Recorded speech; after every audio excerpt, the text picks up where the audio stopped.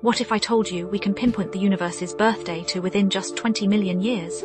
Scientists have determined our universe is 13.8 billion years old, and the methods they use are absolutely fascinating.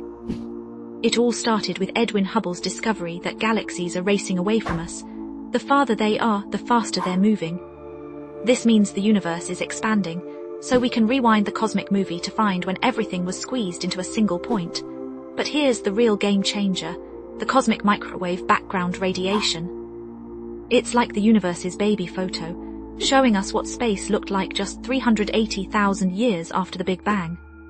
This ancient light carries the universe's fingerprint, revealing its precise age.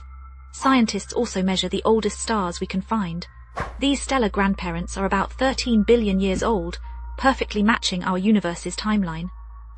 It's cosmic detective work at its finest, using light itself as evidence.